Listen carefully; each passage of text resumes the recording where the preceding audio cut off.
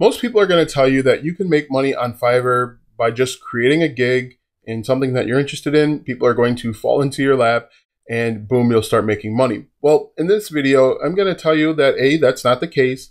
B, I'm going to show you how you can actually do it so that you can start making some money. Now, it will require some upfront work from you, but it's something that a lot of people are doing and they're doing it to make money. So make sure you watch this entire video so that you can learn step by step how you can make money on Fiverr as a complete beginner. For the best tips and tricks to learn affiliate marketing and internet entrepreneurship, be sure to subscribe to the channel and ring the bell so that you're notified when I upload a brand new video. Also, click the first link in the description or go to alstongodbolt.com forward slash start for my number one recommended way to start a full time income online. Hello, I'm Alston with alstongodbolt.com. I'm an affiliate marketer and internet entrepreneur who has helped thousands of people across multiple platforms make passive income, and today I want to help you. All right, so let's go ahead and get right into it. A lot of people are telling you on YouTube and other places that you can make money simply by creating gigs on Fiverr. Fiverr is a freelancing site that has hundreds of thousands of people trying basically to do the same thing. If we take a look at Fiverr, we're going to go to logo design, for example. So I typed in logo design. Right now, there are over 167,000 different services available. So basically, what that means is 167,000 plus people have created a logo design gig on Fiverr. So it's going to be very difficult for someone that's brand new to stand out. And for the most part, most of the columns here are saturated. There's a lot of people, a lot of competition. When you add into it that a lot of people are underbidding just so that they can get a gig, it's going to be very difficult in the beginning for you to potentially make some money unless you do what I'm about to show you. What I recommend that you do, of course, is first things first is you have to go over to fiverr.com and you have to create a gig.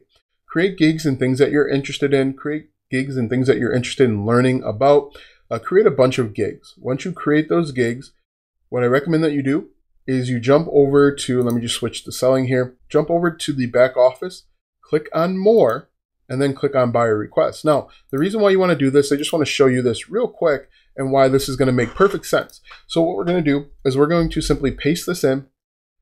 Uh, this is one of the gigs that I have, desktop, laptop. Right now, there are 117 services, so not a ton, but it's still going to be kind of competitive especially since people are charging $10. If we jump back over to buying or selling, excuse me, and we go to more and we go to buyer requests, you can see for similar services, there are only 11 offers. So 11 people have put in offers for this job, and this job is actually willing to pay $50. Now, I don't know exactly what this job requires, but you're giving yourself a much better opportunity, 1 in 12, in fact, if you go this route, if you do the buyer request instead of just trying to compete with everyone else. The key to making money online and the key to making money on Fiverr is you have to go out and take what you want. The people that just go and create a gig on, on Fiverr and hope that hope that money comes to you usually wind up failing and they get frustrated and they quit. Um, but for being transparent and honest, I actually fell into that trap as well. I, I watched a ton of YouTube videos where people said, "Go ahead, create a, an account over on Fiverr," and and people will just find you. But when you look at the numbers and you see that there are hundreds of thousands of people that are looking to do the same or similar thing for relatively low amount, it's a no-brainer that you go over to the buyer request and you bid on these because you have a 1 in 12 chance. You have what is that? An 8% chance of landing this versus hundreds of thousands of, of people that are fighting for the same thing. Now, it's vitally important that you go in here daily and you make bids. As you can see here at the top, you only have 10 offers that you can do per day, but that's 10 opportunities 10 chances to find success. If you look down here, someone's actually requesting me to submit a bid. So basically what happens, and I'm going to jump over to the other side so I can show you exactly what happens, is someone like me is going to want a logo design, for example. I'm going to create a custom gig. So I'm going to go down to manage request. Excuse me. I'm going to go to post a request. And because I don't want to sift through hundreds of thousands of people, I'm just going to type in, I'm looking for someone to create a logo or blog post or ebook, whatever it is. And I'm just going to select my category. For example, I'm going to select I think it was, let's do programming and tech. And then we can go to WordPress. And then we're going to select you know, seven days, and my budget's going to be a hundred dollars, right? And so the person that's creating this, someone like myself that's looking for a logo design, or we'll say, let me change it to WordPress developer. WordPress developer. So I'm looking for a WordPress developer that can make custom changes to um, a custom WordPress theme, we'll say.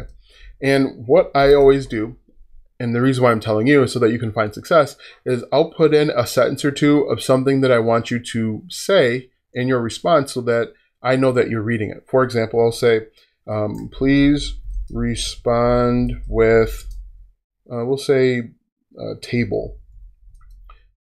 in the first sentence.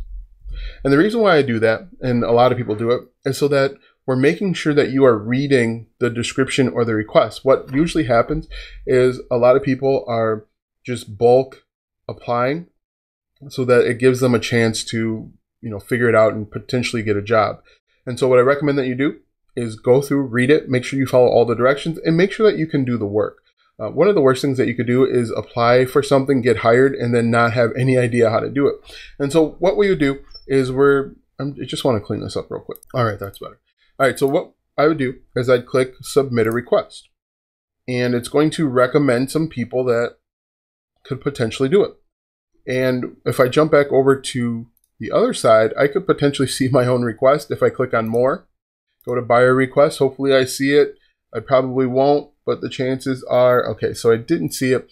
But that request I just created would potentially land up here if you have a gig for it already. You have to create a gig. If I click on gigs, you have to create a gig that is relevant to the request. That's why you're only seeing two for me because there are only two active gigs that are relevant to this. So that's why I recommend that you create a bunch of gigs so that it will give you a bunch of opportunities to apply and potentially make it. So that's what you have to do step by step. Create a Fiverr account, obviously, then create a bunch of different gigs. Head on over to more, as you can see here, and then you're going to go down to buyer request and you are going to apply to the re request. Now, when you're applying to the request, make sure that you are reading the request. That is very, very important.